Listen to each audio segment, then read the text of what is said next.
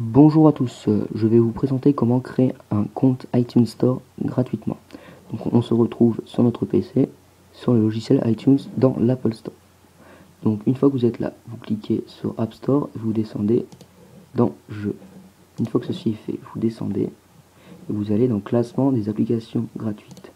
Vous appuyez sur Tout afficher, vous attendez et là vous allez appuyer sur le gratuit d'une application gratuite ils vont vous demander euh, votre ID Apple et votre mot de passe et vous allez cliquer sur créer un identifiant Apple.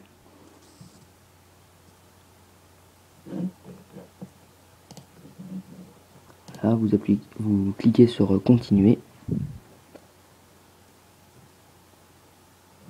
Vous acceptez, etc. Vous acceptez. Alors une fois que ceci est vous rentrez votre adresse email, votre mot de passe, vous choisissez vos questions, votre email de secours, et on se retrouve une fois que ceci est fait.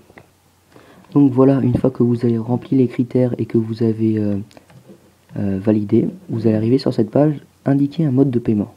Donc pourquoi nous sommes allés sur une application gratuite? Tout simplement pour avoir ceci, ce bug.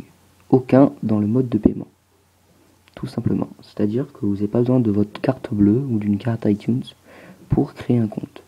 Donc voilà, vous cliquez sur aucun, vous remplissez tout ça, créez un identifiant Apple, vous allez recevoir un email sur votre adresse email que vous avez rempli au précédent. Vous suivez les instructions, je vais vous expliquer. Et vous allez aller sur le site Apple, ça va vous rediriger là, sur ce site.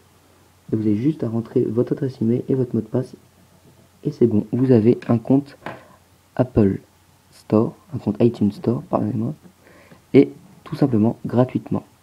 Donc euh, merci d'avoir regardé cette vidéo, à plus tard.